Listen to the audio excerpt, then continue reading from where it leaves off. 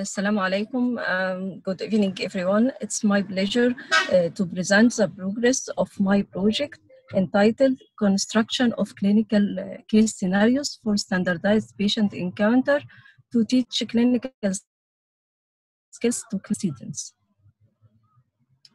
Uh, to begin, I want to highlight uh, three key points. First, that exposure to a variety of patient presentations and clinical encounters help to develop the clinical skills and it is more effective than reliance on opportunistic encounter, which is usually inefficient. Second, that simulation-based teaching provide a flexible and predictable context for students to learn, practice, and improve their skills. Um, and for simulation-based teaching to be uh, effective and successful, um, it is important to develop simulation scenario, scenarios that is designed to meet the identified objectives and optimize the achievement of expected outcomes. By constructing uh, the clinical cases, scenarios, uh, in the short-term outcome, we will have ready material for teaching clinical skills through simulation. Uh, and on the Uh, on the, uh, on the uh, at the same time, we develop team experienced in constructing these clinical cases based on a predefined template and fulfilling the intended learning outcomes. Uh, meanwhile, on the intermediate term, uh, we, we aim to increase the awareness of the role of standardized patient and simulation in clinical teaching. And finally, the ultimate goal is to implement the program.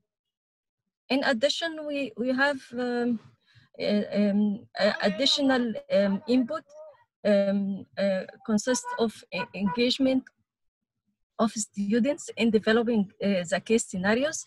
And we have many possible and ach achievable outputs, including, um, and we have many possible and achievable outcomes uh, and outputs um, uh, such as um, uh, delivering these in, cases in the form of interactive online scenarios. Also, we can use this in the script in teaching and learning clinical reasoning. Also, it is a, a good tool for teaching different clinical presentations in case-based lectures.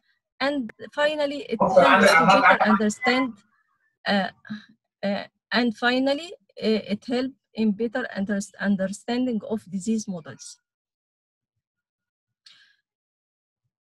Uh, this is the Gantt chart of uh, my project. It started in January by um, completing the project workbook. Then in February, uh, I started to screen the internal medicine curriculum and selected the most suitable topics to be addressed uh, by this mean. And then uh, I um, uh, developed a project team from different subspecialties. Also, I designed a template for constructing these cases in May. And then we started to construct the scenarios and we will continue.